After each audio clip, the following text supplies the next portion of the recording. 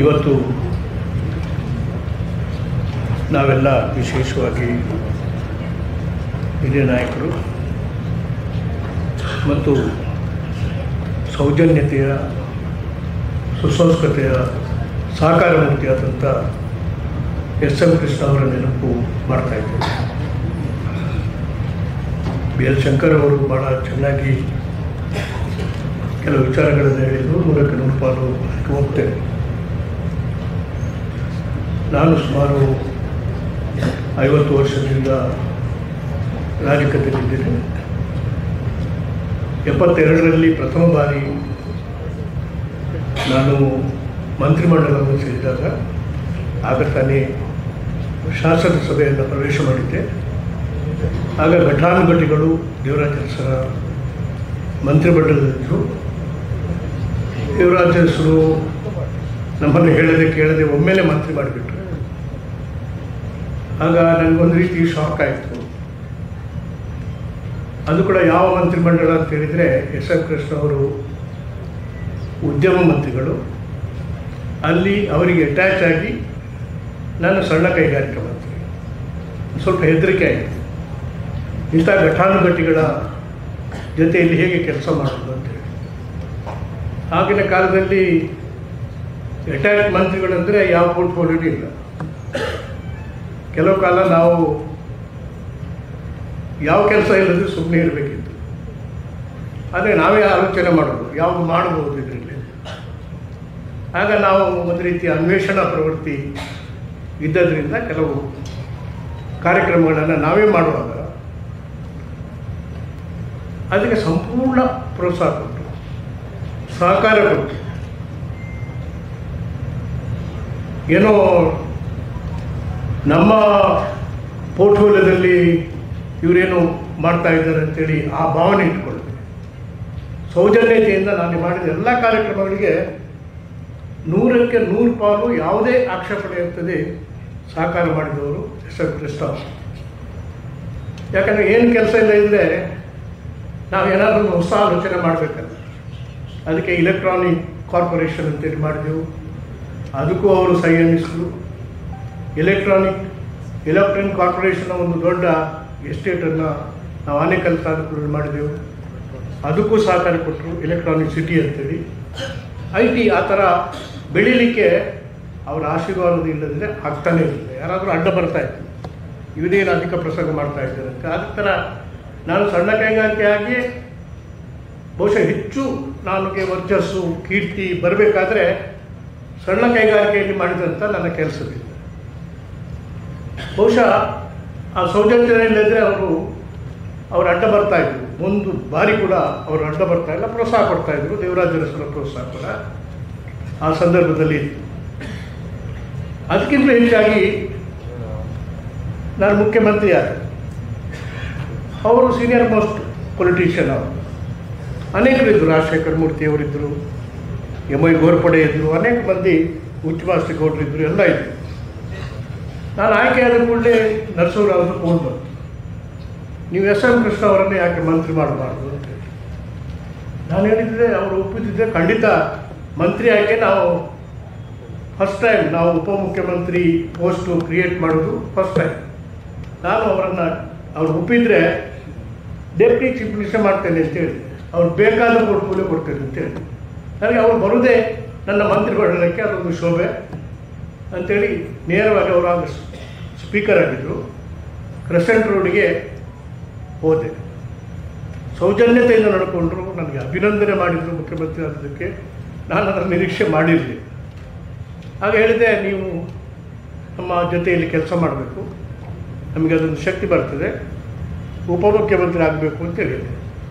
ನಿಮಗೆ ಯಾವ ಪೋರ್ಟ್ಫೋಲಿಯೋ ಬೇಕು ಅಂತೇಳಿ ತಾವು ಹೇಳಿ ಅದನ್ನೇ ಮಾಡ್ತೀವಿ ಅಂತೇಳಿ ಮತ್ತು ನೀರಾವರಿ ಮತ್ತು ವಿದ್ಯುತ್ ಶಕ್ತಿ ಮಂತ್ರಿ ಕೂಡ ಬಹುಶಃ ನಾವು ಅವರ ಮಂತ್ರಿಮಂಡಲದಲ್ಲಿ ಅವರಿಗಿಂತಲೂ ನಾನೇ ಹಸ್ತಕ್ಷೇಪ ಮಾಡಿದ್ದು ಜಾಸ್ತಿ. ಆಗ Almatti dam, Lal Bahadur Shastri foundation stone ಮಾಡಿದ ಮೇಲೆ ಒಂದು ಇಂಚು ಕೆಲಸ ಆಗಿದೆ ಆಗ ನಾನು ಹೇಳಿದ್ದೆ ನಾವು ಬೇಕಾದರೆ ಒಂದು ಫೈನಾನ್ಸ್ ಕಾರ್ಪೊರೇಷನ್ ಮಾಡೋಣ. ಅಪ್ಪ, ಇದು ಕೃಷ್ಣ ಜಲಭಾಗ್ಯ ನಿಗಮ ಅಂತೇಳಿ, ಮಣಿ ರೈಸ್ ಮಾಡೋಣ. ತನ್ಮೂಲಕ ಕಟ್ಟೋಣ ಅಂತ ಹೇಳಿದರೆ, ಎರಡೇ ವರ್ಷದಲ್ಲಿ ಐನೂರ ಹದಿನೆಂಟು ಮೀಟರ್ ಏರಿಸಿದೆವು.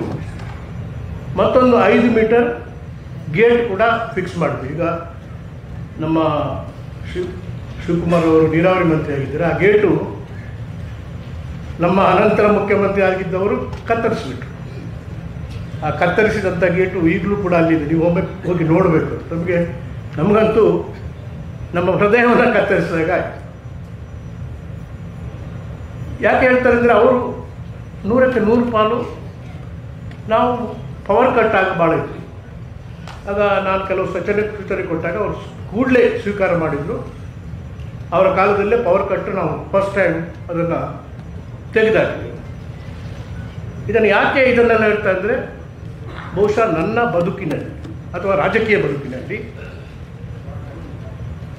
ಒಬ್ಬ ಅತ್ಯಂತ ಶ್ರೇಷ್ಠ ಮಟ್ಟದ ಕ್ರೀಡಾ ಸ್ಫೂರ್ತಿ, ಸ್ಪೋರ್ಟ್ಸ್ಮನ್ಶಿಪ್ ಅಂತೇಳಿ ಇದೆಯಲ್ಲ ಈಗ ಅದು ನಮ್ಮ ಡಿಕ್ಷನರಿಯಿಂದ, ರಾಜಕೀಯ ಡಿಕ್ಷನರಿಯಿಂದ ಆ ಶಬ್ದ ಕಾಣ ಇರ್ತಾರೆ ಬಹುಶಃ ನಾನು ಕಂಡಂಥ ಅತ್ಯಂತ ಅಪರೂಪದ ಒಂದು ಕ್ರೀಡಾ ಸ್ಫೂರ್ತಿಯಿಂದ ಕೆಲಸ ಮಾಡಿದಂಥ ಒಬ್ಬ ರಾಜಕೀಯ ವ್ಯಕ್ತಿ ಅಂತ ಹೇಳಿದರೆ ಪ್ರಥಮ ಶ್ರೇಣಿಯನ್ನು ನಾನು ಎಸ್ ಎಂ ಕೃಷ್ಣ ಅವರಿಗೆ ಕೊಡಲಿಕ್ಕೆ ಅಪೇಕ್ಷೆ ಪಡ್ತಾ ಇದ್ದೀನಿ.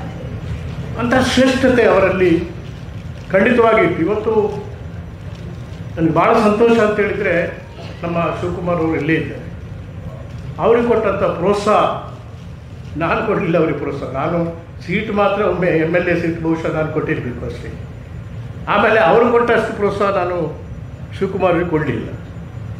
ಶಿವಕುಮಾರನ್ನು ಇವತ್ತು ಬೆಳೆಸಿ, ಅವರಿಗೆ ಉತ್ತೇಜನ ಮಾಡಿಕೊಟ್ಟು ಅವರು ಮುಖ್ಯಮಂತ್ರಿ ಆಗತಕ್ಕಷ್ಟು ಅರ್ಹತೆಯನ್ನು ಇವತ್ತು ಗಳಿಸಿದರೆ ಎಸ್ ಎಲ್ ಕೃಷ್ಣ ಅವರಿಗೆ ಆ ಕೀರ್ತಿ.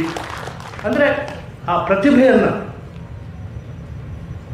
ಗುರುತಿಸಿದಂಥ ಒಂದು ನಮ್ಮ ರಾಜಕೀಯ ನಾಯಕರಿಗೆ ಬೇಕು. ಅದು ಗುಣ ಬಹಳ ಕಡಿಮೆ ಈಗ, ಅಸೂಯೆ ಜಾಸ್ತಿ. ಅಂಥ ಸಂದರ್ಭದಲ್ಲಿ ಅನೇಕ ಯುವಕರನ್ನು ನಾನು ಕೂಡ ಅನೇಕ ಯುವಕರನ್ನು ಕಟ್ಟಿದೆ, ನಿರ್ಮಾಣ ಮಾಡಿದೆ. ಅನೇಕ ರೀತಿಯಲ್ಲಿ ನಮ್ಮ ಆ್ಯಪ್ ಇಂಟರ್ನ್ಯಾಷನಲ್ ಏರ್ಪೋರ್ಟು ಮಾಡಬೇಕು ಅಂತೇಳಿ ನಾನು ಮಂಜೂರು ಮಾಡಿದ ಮೇಲೆ ನಂತರ ಬಂದಂಥ ಮುಖ್ಯಮಂತ್ರಿಗಳು ಅದಕ್ಕೆ ಅಡ್ಡಗಾಲ ಹಾಕಿದ್ರು. ಆದರೆ ನನಗೆ ಅಡ್ಡಗಾಲ ಹಾಕಿದ ಕೂಡಲೇ ಅನ್ನಿಸ್ತು. ಇದು ಈ ಪ್ರಾಜೆಕ್ಟ್ ಹೊರಟೋಯ್ತು, ಇದು ಬರೋದೇ ಇಲ್ಲ ಅಂತ. ಆದರೆ ಎಸ್ ಎಂ ಕೃಷ್ಣ ಕೃಷ್ಣ ಅವರು ಮುಖ್ಯಮಂತ್ರಿ ಆದಮೇಲೆ ನಮ್ಮ ಡಿ ಕೆ ಶಿವಕುಮಾರ್ ಅವರು ಮಂತ್ರಿ ಆದಮೇಲೆ ಅದನ್ನು ಕೈ ಬಿಡಲಿಲ್ಲ. ಯಾಕಂದರೆ ಏನೋ ವೀರಪ್ಪ ಪ್ರಾರಂಭ ಮಾಡಿದರು ಅದರಿಂದ ಇಲ್ಲಿ ಕೈ ಬಿಡೋಣ ಅಂತೇಳಿ ಬಿಡಲಿಲ್ಲ. ಅದನ್ನು ಮುಂದುವರಿಸಿ, ಆ ಒಂದು ದೊಡ್ಡ ಪ್ರಾಜೆಕ್ಟನ್ನು ಕೈಗೊಂಡು ಯಶಸ್ಸು ಮಾಡಿದವರು ಎಸ್ ಎಂ ಕೃಷ್ಣ ಅವರು, ನಮ್ಮ ಡಿ ಕೆ ಶಿವಕುಮಾರ್ ಅವರ ಬೆಂಬಲಿಸಿದರು ಅದನ್ನು ಅನೇಕ ಉದಾಹರಣೆಗಳನ್ನು ಹೆಸರಿಸ್ಬೋದು ನಾನು ಯಾವುದು ಇನಿಷಿಯೇಟಿವ್ ತಗೊಂಡೆ, ಅದನ್ನು ಮುಂದುವರಿಸಿ ಯಶಸ್ವಿಯನ್ನು ಮಟ್ಟಕ್ಕೆ ತಂದಂಥವರು ನಮ್ಮ ಎಸ್ ಎಫ್ ಕೃಷ್ಣ ಅವರು. ಅದರಿಂದ ಹೆಚ್ಚು ಬೆಳೆಸಲಿಕ್ಕೆ ನಾನು ಅಪೇಕ್ಷೆ ಪಡೋದಿಲ್ಲ ಆದ್ದರಿಂದ ಇಡೀ ನನ್ನ ರಾಜಕೀಯ ಜೀವನದಲ್ಲಿ ಯಾವ ಒಂದು ಸ್ಪೋರ್ಟ್ಸ್ಮನ್ ಸ್ಪಿರಿಟ್ ಇದ್ದಂತ ಒಬ್ಬರಿದ್ದರೆ ನನ್ನನ್ನು ಅವರು ಟ್ಯಾಕ್ಸ್, ಟ್ಯಾಕ್ಸೇಷನ್ ಕಮಿಷ್, ಕಮಿಷನ್ ಇದ್ದು ಅಧ್ಯಕ್ಷ ಮಾಡಿದರು. ರೆವಿನ್ಯೂ ಕಮಿಷನ್ ಇದ್ದು ಅಧ್ಯಕ್ಷ ಮಾಡಿದರು. ನಾನು ಹೇಳಿದೆ, ಅಧ್ಯಕ್ಷ ಮಾಡಿದ್ದು ಸರಿ.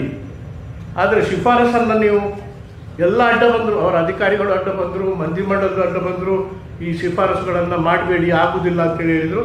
ಆದರೆ ಆ ಶಿ ಟ್ಯಾಕ್ಸೇಷನ್ ಕಮಿಷನ್ ಮತ್ತು ರೆವೆನ್ಯೂ ಕಮಿಷನ್ದ ನನ್ನ ನಾನು ಕೊಟ್ಟಂಥ ಶಿಫಾರಸನ್ನು ನೂರಕ್ಕೆ ನೂರು ಪಾಲು ಅನುಷ್ಠಾನ ಮಾಡಿದವರು ಮಾನ್ಯ ಶ್ರೀ ಎಸ್ ಎಂ ಕೃಷ್ಣ ಆದ್ದರಿಂದ ಸೌಜನ್ಯದ ಸಾಕಾರ ಮೂರ್ತಿ ಆದಂಥ ಎಸ್ ಎಂ ಕೃಷ್ಣ ಅವರನ್ನು ನಾವು ಕಳ್ಕೊಂಡಿದ್ದೇವೆ.